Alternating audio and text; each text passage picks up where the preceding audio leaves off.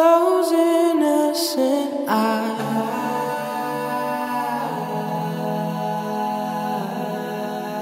That smile on your face makes it easy.